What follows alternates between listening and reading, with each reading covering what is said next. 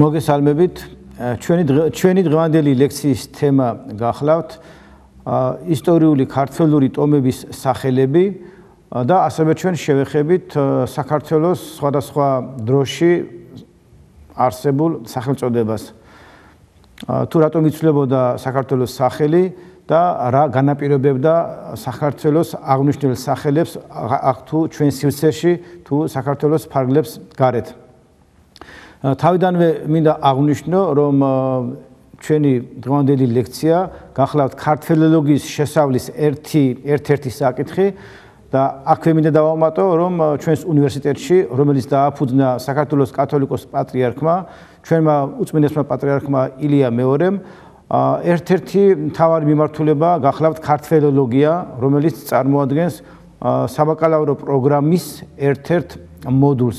ჩვენი პროგრამა გახლავთ საბაკალავრო პროგრამა გახლავთ ფილოლოგია და მისი ერთ-ერთი მოდულია ქართლოლოგია, ხოლო ქართლოლოგიის მოდულის ერთ-ერთი წამყვანი საგანი გახლავთ ქართლოლოგიის შესავალი. აი ამ ქართლოლოგიის შესავალში ჩვენ ვკითხულობთ ქართველთა ენობრივ ისტორიას და ერთ-ერთი საკითხი გახლავთ სწორედ სახელწოდებები ქართლური ქართლური ტომებისა თუ საქართველოს თუ საქართველოსი ზოგადად. აი ამ კონტექსტში ჩვენ გვექნება საუბარი და ვფიქრობ რომ ჩვენი სალექციო თემა დაფუძნებული იქნება არა მხოლოდ ლინგვისტურ მონაცემებზე, ასევე გარკვეულწილად ისტორიულ მონაცემებზეც. ცნობილია რომ ძალიან ბევრი ქართული ტომი ფიქსირდება ბერძნულ წყაროებში. ასევე გარკვეული მონაცემები და გარკვეული ინფორმაციები არსებობს ქართული ტომების შესახებ სხვა წყაროებში, ასურულში, ურარტულში და ასე შემდეგ. ну რეალურად თუ ჩვენ ვისაუბრებთ კონკრეტულ მასალაზე, შეგვიძლია ვთქვათ, რომ ქართული ტომების არსებობა ფიქსირდება ძველი წელთა აღრიცხვის მეორე 1000 წლეულიდან და აქტიურად ჩანს ქართული ტომები პირველ 1000 წლეულამდე.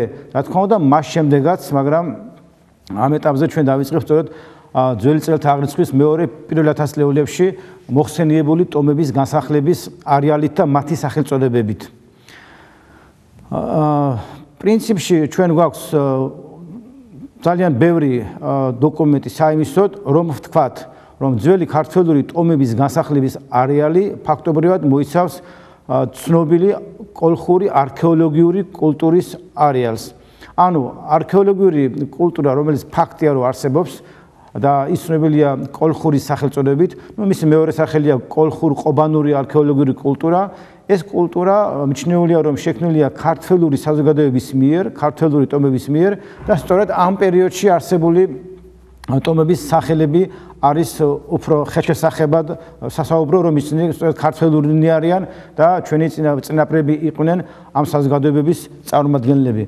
მიჩნეულია რომ მაგალითად ერთ-ერთი უძველესი ტომი რომელიც ფიქსირდება ჯერ კიდევ ხომეროსთან არიან არიან ჰალიძონები ეს საზოგადოება ჰალიძონები ტომი ჰალიძონებისა ასევე ქაშქები ამავე პერიოდში ფიქსირდება დასტურდება ქაშქები, მუშქები, კოლხები, დაიანელები, ანუ ტაოელები და ასე შემდეგ. ყველა ეს ტომი, რომელსაც თქვენ ხედავთ ახლა რუკაზე, განლაგებულია სინოპეს სამსუნიდან მოყოლებული მუშქები არიან მაზახას ტერიტორიაზე, დღევანდელი სადღაც ანკარის მიდამოებში, კაბადოკია ამასის ველზე ჩანან დაიანელები და კოლხები და ფაქტობრივად ეს სივრცე რომელსაც თქვენ ხედავთ რუკაზე სხვადასხვა მეცნიერის ინფორმაციით არიან ქართლური ტომები დასახლებული ამ ტერიტორიაზე. შეიძლება საკამათო იყოს რომელიღაც ტომის ქართლურობა, თქვათ მაგალითად სხვადასხვა მოსაზრება ქაშქები არიან თუ არა ქართლური საზოგადოება, არის თუ არა ქართლური საზოგადოება, მაგრამ მეცნიერთა ნაწილი ქაშქებსაც და მუშქებსაც და ასევე ჰალიძონებსაც მიიჩნევს, რომ ისინი არიან ქართლური ტომები.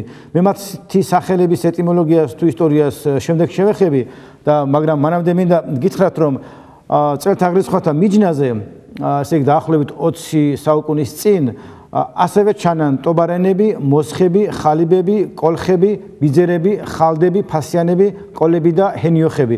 მე ახლა მინდა გაჩვენოთ დრუკა, სადაც ჩანს ამ ტომთა განსახლების ველი. თქვენ ხედავთ რუკაზე თუ დაახლოებით იმავე ტერიტორიაზე ჩანან ქართლური ტომები, რაზეც მე მქონდა საუბარი უფრო ადრინდელ ადრინდელი ტომების სახელებზე. აქ საინტერესო არის ის, რომ კოლხები ჩანან როგორც დღევანდელი საქართველოს ტერიტორიაზე, ასევე სამსუნსა და ტრაპიზონს შორის. აქვე მინდა აღნიშნო, რომ კოლები, თქვენ ხედავთ, კოლები, კოლების ტომი ჩანს საერთოდ დღევანდელი სოჭის ტერიტორიაზე დაახლოებით, აქ არიან ასევე ჰენიოხები, და ასევე საინტერესოა ისიც რომ როგორც მოგხსენებათ ყოლა ქართული პროვინცია ყოლა არსებობს მტრის სათავეებში. ანუ ჩვენ ვხედავთ რომ ერთი და იგივე ტომები სხვადასხვა ადგილას ჩანან და ეს შეიძლება იყოს არა შეცდომა იმ იმ მემატიანეებისა თუ იმ წყაროებისა რომლებიც იძლევიან ამ ინფორმაციებს. არამედ შეიძლება იყოს სწორედ ქართველთა ქართველურ ტომთა განსახლების სხვადასხვა არეალი, ანუ ტომთა მიგრაციისა თუ ტომთა გადაადგილების აღნიშნული თუ ამ სახავი მასალა, მაგრამ ფაქტი ერთია, რომ ეს ტერიტორია, რასაც თქვენ ხედავთ, არის ოდითგანვე ქართული ტომების განსახლების არეალი და შეიძლება კოლხები ჩანდნენ ხან ხალიბების გვერდში დაუშვათ სამსუნის მიდამოებში, ხანაც დასავლეთ საქართველოში, ხანაც ყოლა და კოლები ჩანდნენ როგორც კავკასიონზე, ასევე ჩანდნენ ტყვის სათავეებთან. ანუ ეს ერთიანი ქართლური ველია და ამ ტომთა სახელწოდებების ფონეტიკური ვარიანტები თუ ამ ამ ტომების გადაადგილების ამ სახელი ასე ვთქვათ მიმართულებები უბრალოდ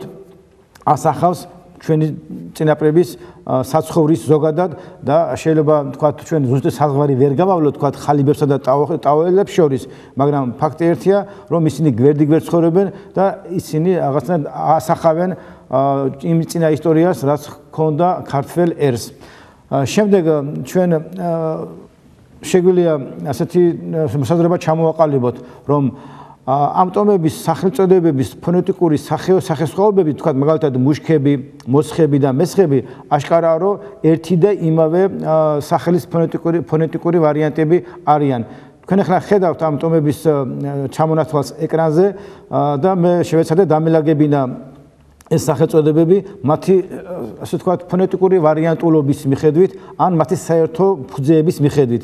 კერძოდ მე უკვე გითხარით რომ მუშკები, მოსხები და მესხები სამეცნიერო ლიტერატურაში მათ ამ ტომთა იგივეობაზე და სახელის ფონეტიკურ ურთიერთ ფონეტიკურ ვარიანტ ვარიანტულობაზე ბევრი მნიშვნელობა გახლავთ და მე ვფიქრობ რომ არ არის ულოგიკო რომ მუშქები, მოსხები და მესხები ერთი და იმავე საზოგადოების აღნიშნელი იყოს.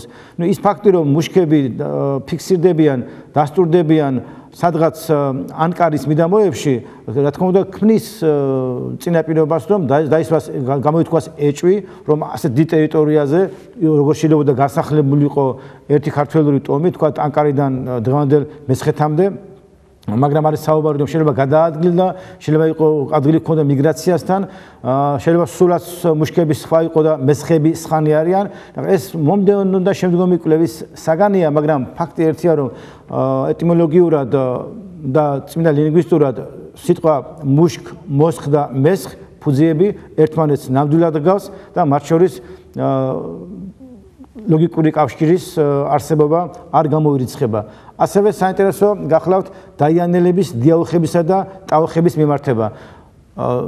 სხვა ტიპის სამ საკლებაძიება საჭირო რომ ამ ტომთა იგივეობა დამტკიცდეს, დამტკიცდეს, მაგრამ ის ფაქტი რომ ფუძე ამ სიტყვებისა დაიან დაიანელი დიაუხ და ტაოხ რომ ერთმანეთს გავს და ამოსავალი ჩანს ტაოხი, დიაუხი და დაიან ეს ფიქრობ რომ ეჭვის აღძრელი არ უნდა იყოს. ასევე გამოთქმულია მოსაზრება რომ ეს დაიაენი შეიძლება რაღაც კავშირში იყოს აიასთან, ეს სხვა თემა და მე ამ თემას ახლა არ შევეხები, მაგრამ ფაქტი ერთია რომ სხვადასხვა დროში დაფიქსირებული, დადასტურებული ტომები, დაიანელები, დიალოხები და ტაოხები და დღევანდელი ტაო, ჩვენი ტაო კლარჯეთის აა ვთქვათ გეოგრაფიულ სახელწოდებაში არსებული ტაო ურთიერთ დაკავშირებული ფუძეები უნდა იყოს. მე გითხარით წეგან რომ კოლეელები და კოლხები ერთმანეთს ეს ფუძე კოლა არის ამოსავალი ფორმა. შეიძლება ჩვენ თქვათ რომ კოლა ძირი არის საფუძველი რომელსაც რომელსაც დაემატა ხ სუფიქსი. ეს ხ სუფიქსი გამოხატავს კავკასიურ ენებში და ქართულურშიც როგორც ჩანს კრებითობას წარმომავლობას. ამიტომ კოლა და კოლხი კოლაელები და კოლხები ერთ ფუძეზე დაფუძნებული სახელები ჩანს. ის რომ კოლაელები ცხოვრობენ როგორც ჩილო კავკასიაში კავკასიონის ასე ვთქვათ კავკასიონზე და ტყვის სათავეებთან და კოლხი ეს ტერმინი მიუთითებს ასევე საზოგადოებას რომელიც ცხოვრობდა ტრაპიზონსა და სამსუნის სამსუნშუა და ასევე ეს ტერმინი მიემართება ასევე საქართველოს დღევანდელ ტერიტორიაზე მსხოვრებ ქართველებსაც მაწინაპრებსაც. აშკარაა რომ რაღაც გარკვეული მოძრაობა თუ საერთო განფინის ველი არსებობდა ამ ტომების შემთხვევაშიც ჩვენ ასევე გვაქვს ურთიერთ მონათესავე ფუძეები კერძოდ სპერთან დაკავშირებით ისტორიულ ქართულ პროვინციას სპერს უკავშირდება. სამეცნიერო ლიტერატურაში მოსაზრებები არსებობს რომ ამ სპერს უკავშირდება სასპეირები და იბერები რომ ტერმინი იბერი წარმოქმნილი არის სპერისგან. სხვადასხვა ფონეტიკური ტრანსფორმაციებით მე ვფიქრობ რომ ამ ასეთი ასეთ შეხედულებას აქვს ლოგიკური საფუძველი და არ გამოვრიცხავ რომ ეს უფრო მეტად იყოს დამაჯერებელი ვიდრე ვარსაყოფი ეს დებულება თუ ეს თეორია. ასევე ძალიან საინტერესოა რომ ქუთების ტომი უკავშირდება კოიოტებსა და კვიტებს მოგახსენებათ გარკვეული რაღაც თანხმედრა არსებობს ქალაქ ქუთაისთანაც და დიდი ალბათობით შეიძლება გახდეს შესაძლებელი რომ ქუთაისი ეს ტერმინი მომდინარეობს ეს ქალაქის სახელწოდება ტოპონიმი მომდინარეობს ქალაქის სახელი მომდინარეობს ქუთების ტომისგან. თუ ასეთი დადასტურება შეიძლება წმინდა ასე ვთქვათ ისტორიოგრაფიული მონაცემებით ეს სხვა თემაა მაგრამ ლინგვისტურად ქუთებისა და ქუთაისის დაკავშირება მე ვფიქრობ პრობლემური არ უნდა იყოს ვინაიდან ძირი ერთია და გამოიყოფა სუფიქსი ქუთ ები და ები არის ნიშანი მრავლობითობის ხოლო ქუთა ქუთა ისში ის მოგესწრებათ არის სუფიქსი და ჩვეულებრივად სეგმენტაცია ქუთა ქუთა ისის არ არის პრობლემური როგორც ქუთების ასევე საინტერესოა ხალიზონებისა და ხალიბების დაკავშირება. ხალიზონები, რომელიც დადასტურებულია ჰომეროსთან, ამ ტომის ამ ტომს უკავშირებენ ამ ტომის სახელწოდებას მეცნიერთა ნაწილი უკავშირებს ხალიბებს, ხალდებს და ქალდებს. ნუ ხალდ ხალდ და ქალდ ძირთა ხალდ და ქალდ ძირთა დაკავშირება მე ვფიქრობ რომ არ უნდა იყოს პრობლემური ვინაიდან უკანა ენისმიერია ხც და ქც და შესაძლებელია ფონეტიკურად მარტივად აიხსნას ხალდ და ქალდ ძირების ურთიერთობა. ჰალიძონების დაკავშირება უფრო შეიძლება პრობლემური იყოს და შემდგომი კვლევაზიება ამ მიმართულებით იქნება ძალიან საინტერესო. ასევე მე ვფიქრობ, რომ საინტერესო არის სანებისა და ჭანების მიმართება. ჩვენ გვაქვს სანები, ჭანები ერთი ერთის მხრივ, მეორეს მხრივ გვაქვს სანიგები და სანიკები. სან ძირთან ურთიერთობა ჭანისა ისტორიულად რა თქმა უნდა ჩვენ შეგვიძლია ვივარაუდოთ რომ ს ბგერა რომელიც არის წინა ენისმიერი და ჭიბგერა რომელიც ასევე არის წინა ენისმიერი და ჩვენ ასევე გვახსენდება ალბათ რომ არსებობს ზანი ფორმაც და ამ სანი ფორმის ლაბიალიზებული ვარიანტია სვანი მე ვფიქრობ რომ თეორიულად შესაძლებელია აი ამ ფუძეების ურთიერთ დაკავშირება მაგრამ უფრო საინტერესოა ამ შევლების განვითარება სხვა მიმართულებით. კერძოდ რითი უნდა აიხსნას რომ ძალიან მსგავსი ფონეტიკურად მსგავსი ტომების სახელწოდებები გვაქვს და ესენი მიემართება სხვადასხვა ტომს. ანუ ცნობილია რომ გვერდი-გვერდ დასტურდება სანები და ჭანები, ან სანები და სვანები, ანუ სხვადასხვა ტომის სახელებია სანი, სვანი და სანიგი. აქ ორი ალბათობა რომ ეს საზოგადოებები იყოს საერთო ამოსავალი საზოგადოების საზოგადოებისგან წარმოიშვა, ანუ რაღაც ერთი ტომი იყო, დავუშვათ, პირობითად სან, რომლის სხვადასხვა ჯგუფები დაშორიშორების შემდეგ მათი სახელწოდებებიც დაშორიშორდა ერთმანეთს, ოღონდ ძალიან ცირედით, თქვათ, სანმა მომცა ზანიც, მომცა სანმა სვანიც და მომცა სანმა სანიგიც.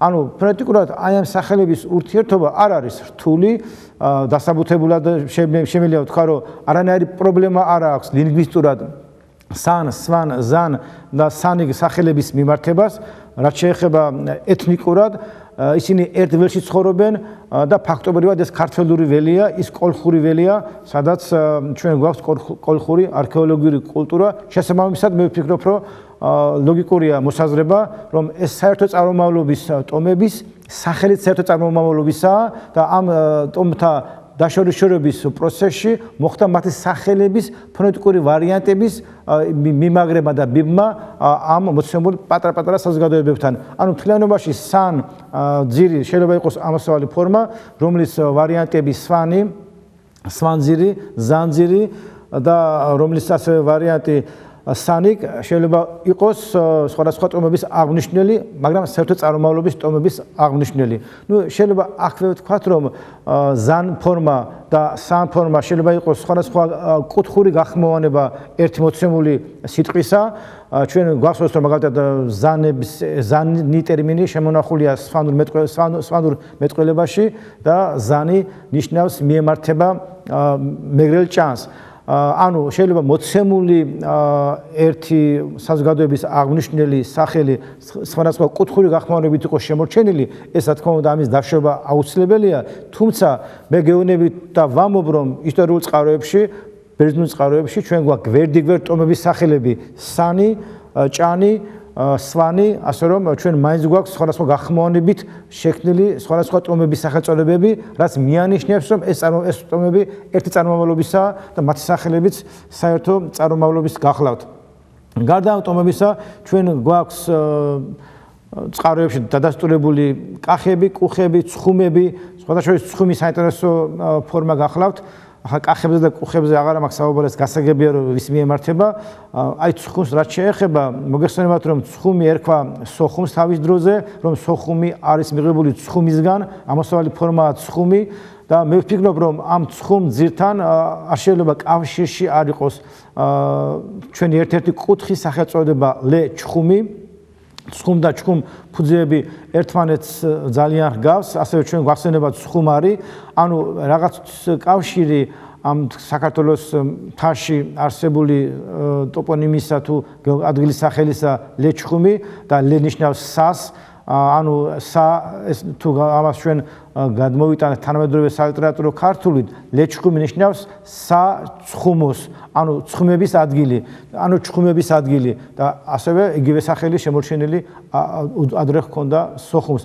ანუ აშკარაა რომ რაღაც ქართლურ ენობრივ სამყაროსთან უთუო დაკავშირებულია ეს ცხუმ ტომიც ცხუმ სიტყვაც და უფრო ტომის სახელად შეიძლება ჩვენ ვივარაუდოთ ასევე ქართულთა აღნიშნული იყო ძველ წყაროებში, ქართულ წყაროებში უკვე ფხოვი, ფხოველები, ჰერები და სხვა. მე მაინც დავასახელებ არიანეს ცნობას, რომ უფრო ნათელი იყოს ჩემი, ასე ვთქვათ, უფრო არგუმენტირებული იყოს ჩემი მსჯელობა. აი მაგალითად არიანე ტრაპიზუნტიდან ძველ ლაზიკამდე, ძველ ლაზიკა გახლავთ ნიკოფსია, ამჟამინდელი ნოომიხაილოვკა ასახელებს 10-ზე მეტ ქართლურ ტომს. მე ამას ჩამოვთვლი თქვენ ახლა ხედავთ ეკრანზე ახლა, ესენი არიან კოლხები, სანები, მაკრონები, ჰენიოხები, ძიდრიტები, ლაზები, აფსილები, აბასკები, სანიგები, ძილქები. მე მინდა საგანგებოდ შევეხო აბაზგების თემას.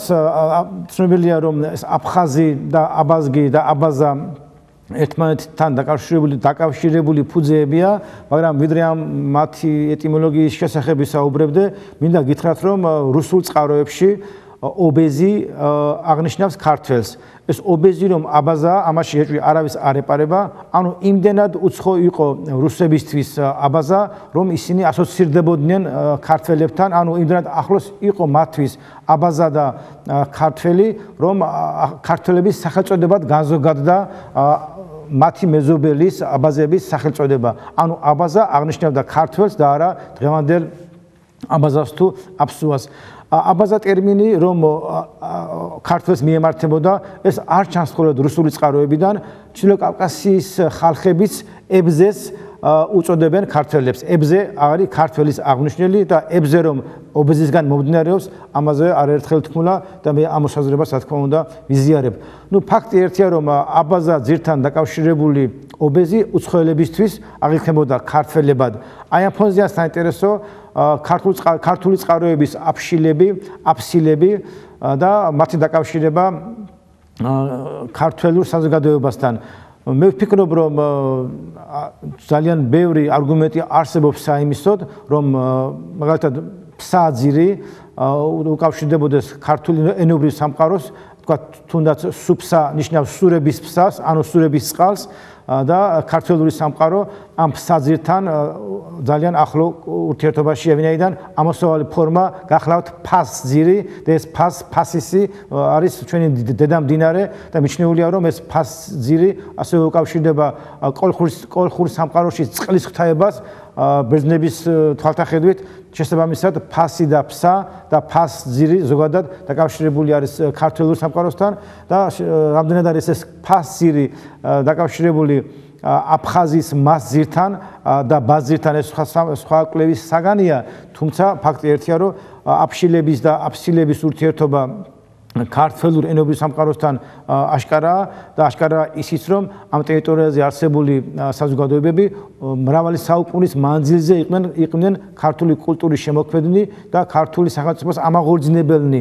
ასე რომ ის ფაქტი რომ აბაზაც და ობეზიც უკავშირდება საქართველოს მიანიშნებს რომ უძველეს პერიოდში და თუნდაც ძველ პერიოდში თუნდაც 10 საუკუნის წინ ეს საზოგადოებები იმდენად იყო ქართული რომ მათგან რომ უცხოელები არასხოვებდნენ ქართული სამყაროსგან არც აბაზას და არც ობეზს და იყო განზოგადებული ქართველების აღნიშნულად.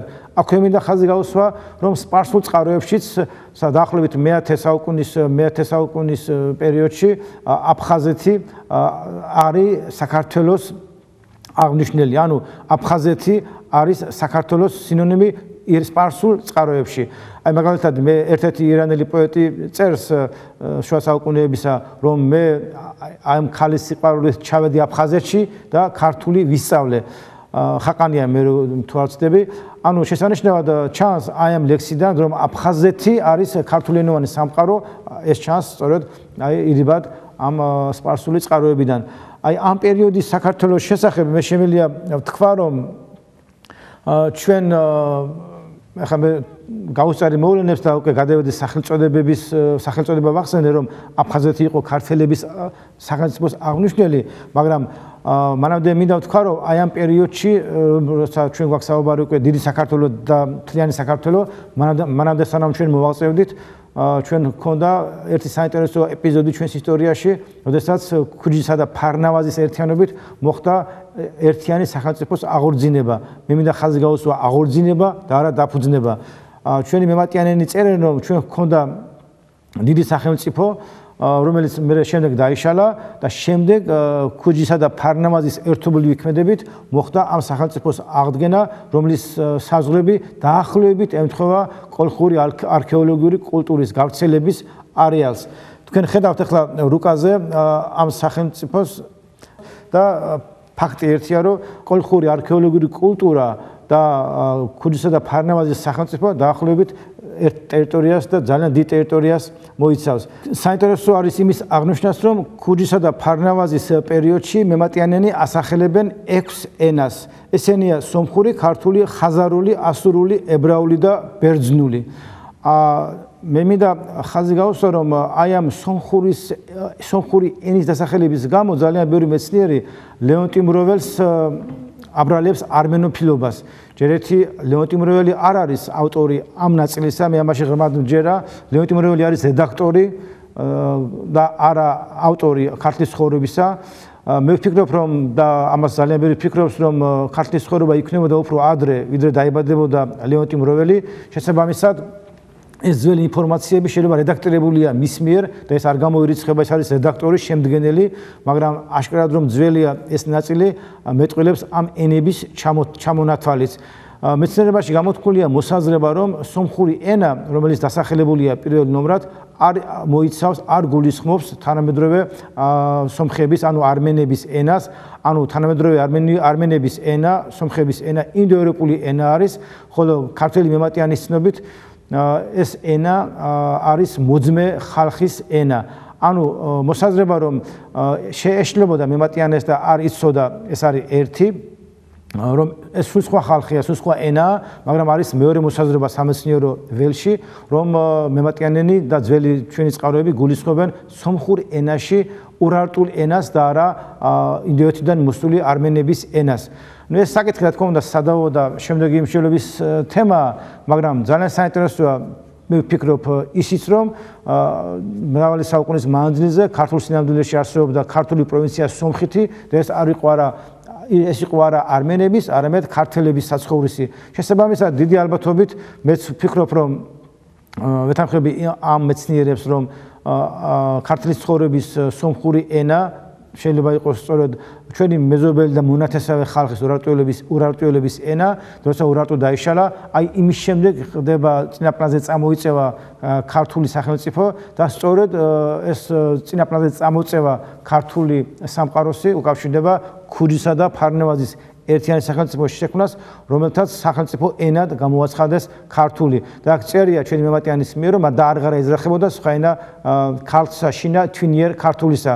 აი ქართლსა შინა მე ახლა ამ ტერმინით გავაგზავნებ შეიძლება, რა თქმა უნდა, უეჭველია რომ ქართლი ამ შემთხვევაში ნიშნავს სრულიად საქართველოს, რომელიც მოიცავს როგორც დასავლეთ, ასევე სამხრეთ საქართველოსაც და მოსაზრება რომ ეს ქართლი იყო მხოლოდ ერთი მთის სახელი და განზოგადდა მთელ ტერიტორიაზე არის საეჭვო, მე უფრო მგონია რომ თავიდანვე ქართლი იყო შემოღებული ქართლთა ერთიანი სახელმწიფოს აღნიშნელად.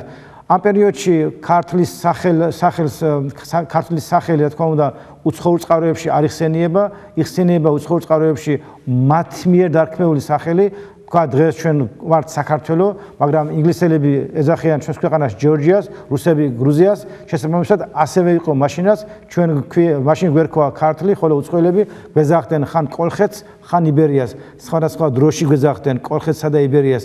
ის რომ ერთდროულად არსებობდა კოლხა და იბერია არის ტყუილი, ეს არის არასწორი ინფორმაცია, სხვადასხვა დროში ჩვენ გვერქვა ერქვა ჩვენს ქვეყანას კოლხეთი და მე უფრო გვიან ერქვა იბერია. პირველ საუკუნეში უკვე იბერიის მონაცვლე იბერია კარგავს თავის ძველ ფართო სემანტიკას და დასავლეთ საქართველოს ერქმევა უსხოურ წყაროებში ლაზიკა, ხოლო აღმოსავლეთს ერქმევა იბერია. ეს შეიძლება აიხსნას ძალიან მარტივად, ვინაიდან ბერძნებისგან კონტროლება ტერიტორიას ბერძნები ეძახდნენ ლაზიკას, ხოლო იმ ტერიტორიას, რომელსაც ისინი ვერ აკონტროლებდნენ, შეერჩა სახელი იბერია. ნუ ფაქტი ერთია, რომ ამ პერიოდის ქართულ წყაროებში საქართველოს ქვია ქართლი, ქართლი არის მთლიანი ამ ტერიტორიის მომცველი, თუმცა უსხოური წყაროები საქართველოს დანაწევრებულად წარმოადგენს. ზოგი წყარო წარმოადგენს დანაწევრებულად, ზოგი წყარო წარმოადგენს როგორც ერთიან ქვეყანას.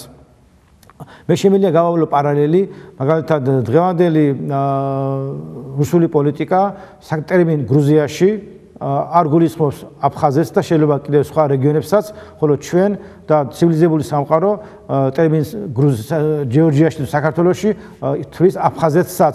აი შეიძლება მსგავსი პოლიტიზირებული დამოკიდებულებები იყო და ეს არ გამოირიცხება თავისთავად ხადია ძველ პერიოდშიც, ასე რომ ის რომ ჩვენ ტერიტორიას ქვია ქართლი და აი ამ ქართლის ტერიტორიას სახელმწიფოს რომელიღაც სხვა სახელმწიფოს იდეოლოგი მემატიანე ანაწევრებს ლაზიკად და იბერიად, მე შეიძლება მასში დავინახო პოლიტიკა და არა რეალობის ასახვა. მე უფრო უნდა ვენდო წესით ქართულ მემატიანეს, ვინაიდან ჩვენი მემატიანენი იყვნენ ბერები, წესიერი ხალხი, პატრიოტული ადამიანები და ისინი არ გააყალბებდნენ ჩვენს ისტორიას და თუ არის უცხოური წყაროების გაორებულობა, რატომ რატომ უნდა გამოვაცხადო არასთანდო ქართული წყარო. მე შემიძლია ვთქვა, რომ ძალიან ბევრ უცხოურ წყაროს ეთანადება ქართული წყაროები და შეიძლება ვთქვა რომ ქართული წყაროების ქართული წყაროები მთლიანად და უცხოური წყაროების ნაწილი, უცხოური წყაროების ნაწილი უჭერს ხარს იმას რომ ქართლი ტერმინი მოიცავდა და ქართლთა სახელმწიფო მოიცავდა როგორც დასავლეთ ასევე აღმოსავლეთ საქართველოს.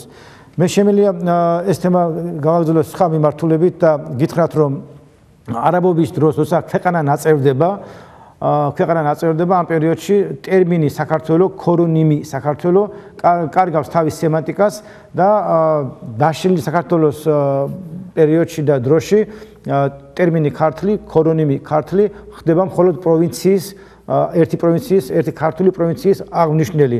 არაბობის შესუსტების პერიოდში როგორც თქვენთვის ცნობილია ძლიერდება საქართველოს აღორძინების ტენდენციები, რომელიც იწყება ტაოკლარჯეთში, კერძოდ ტაოკლარჯეთში გდუგელ ხანსტელის მოღვაწეობით საფუძველი ეყრება ქართულთა სულიერ აღორძინებას და კულტურულ აღორძინებას, ამას მოყვება ქვეყნის აღორძინება და ამ პერიოდში ეთყობა გაჩნდა პრობლემა, რომ დამკვიდრებული იყო რამდენიმე საუკუნის მანძილზე ქართლის ვიწრო სემანტიკა, რომ ის მარტო აღნიშნავდა ვიწრო ერთ პროვინციას და დაკარგა ტერმინმა ქართლმა ზოგადად ქართული სახელმწიფოს აღნიშნელი მნიშვნელობა სემანტიკა და ამიტომ ჩნდება ასე თქვათ ორი ტენდენცია.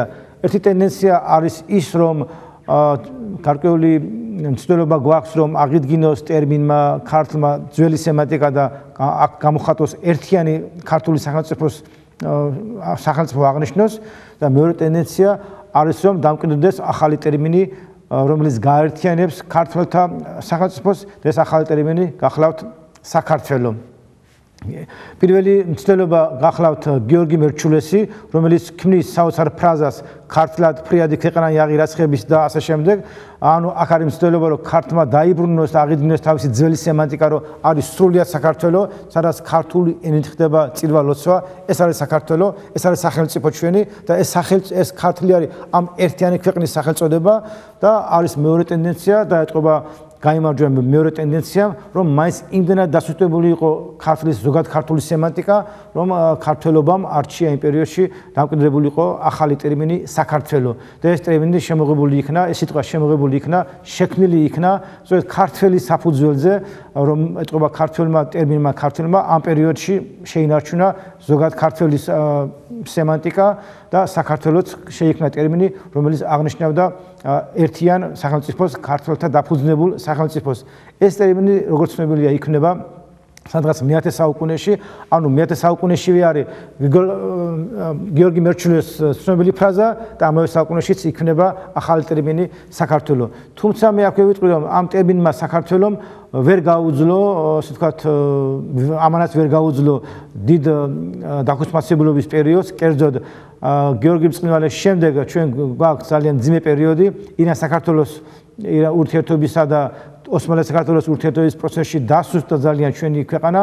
კავკასიას გადაუარეს როგორც ირანის ჯარებმა თუ შენერთებმა ასევე ოსმალეთის. ამ პერიოდში საქართველოს ფაქტობრივად დაიშალა და ამ შემთხვევაშიც საქართველოს და ქართველი ასე ვთქვათ და შემცირდა მხოლოდ საქართველოს ერთი ნაწილის აღნიშნულად. კერძოდ ერეკლე მეორეს ცნობილ ერეკლე მეორის დროს შექმნილ ცნობილ ტრაქტატში, იბერიელთა ერთობის ტრაქტატში, რომელიც შეიქმნა 1790 წელს, დაფიქსირებულია ჩვენ გვაქვს ძალიან კარგი ნაცელი დოკუმენტი, რომ საქართველოს აღნიშნავს მხოლოდ ქართლსა და კახეთს. ამ პერიოდში არის ძალიან საინტერესო მცდელობა შემოღებული იქნას ახალი ტერმინი იბერია, რომელიც აერთიანებს მთელ საქართველოს. კერძოდ ქვემო იბერია დითვლება იმერეთი, და იმერეთში მოიაზრება როგორც დღევანდელი იმერეთი, ასევე გურია და ასევე მოიაზრება სამეგრელო და მეორე მხრივ ზემო იბერია, ანუ საქართველოს არის ესე იბერიის მეორე ნახევარი. ანუ ტერმინი იბერია ამ პერიოდში აერთიანებს როგორც გამაერთიანებელი ტერმინი, ასე არის შემოღებული ჩვენ სინამდვილეში, მაგრამ აი ამ ტერმინი იბერიის დამკვიდრებას ხელი შეუშალა და პრინციპში ეს არ განხორციელდა მე-19 საუკუნის ქართული მოღვაწეების მეცადინეობით, რომელთაც ტერმინ საქართველოს და ასევე ეთნონიმ ქართველს დაუბრუნეს ის ძველი სემანტიკა, რომელიც მას ჰქონდა ოქროს საუკუნეში. ანუ ოქროს საუკუნის ტერმინი საქართველო და ოქროს საუკუნის დროინდელი ეთნონიმი ქართველი აღორძინა მე-19 საუკუნის მოღვაწეების მიერ, როგორც ერთიანი საქართველოს და ერთიანი ქართველი ერის აღნიშნული ტერმინები.